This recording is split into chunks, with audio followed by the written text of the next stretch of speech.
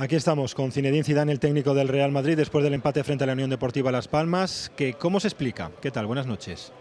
¿Cómo se explica cómo? El empate. Nada. eh, ahora nosotros lo que tenemos que hacer es ya pensar hacer las, las cosas de otra manera. Eh, pero no nos vamos a volver locos porque yo el primero y los jugadores tampoco. No nos vamos a olvidar lo que hicimos de bueno hasta ahora. Estamos en un momento donde no, no, no nos salen las cosas como, como queremos. Y ya está. No hay... El análisis que, que hago yo es, es que nuestro siempre inicio de partido es, es diferente a lo que hicimos hasta ahora. Pero no sé, esto seguro que lo vamos a cambiar. eh, cuando no te. Espero que rápido. eh, y ya está.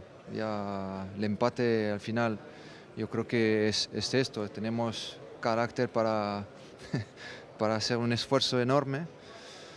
Y lo que me molesta y a, todos, ¿eh? los jugadores primero, es, es nuestro inicio de partido, porque luego el esfuerzo de la segunda parte es, es mucho más mayor que, bueno, que si tú empiezas el partido con, con esta energía y, y además dif- di- tú meter el primer gol, primer gol y, y- y parece que bueno, el partido se ha, se ha- se ha acabado. Entonces no, no es, no es así, pero al mismo tiempo te digo, es un poquito larga la, Sí, sí. te contesto, pero, pero al final no, no nos tenemos que volver locos, tenemos que pensar ya al próximo partido y, y pensar que esto lo vamos a arreglar todos.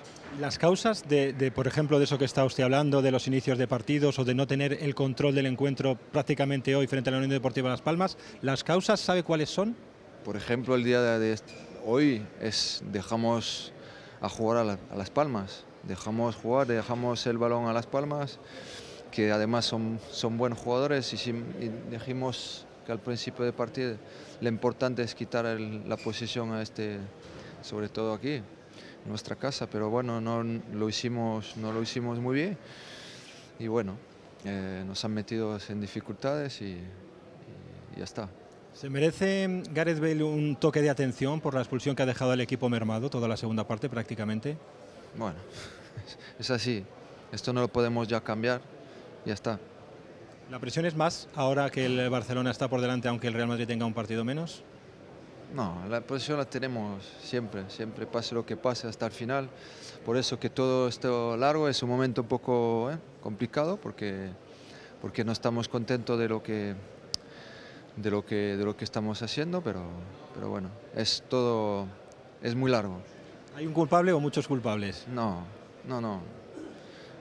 El responsable soy yo, entonces esto lo tenemos que, que cambiar todos, pero responsable soy yo y, y vamos a seguir. Muchas gracias. Venga.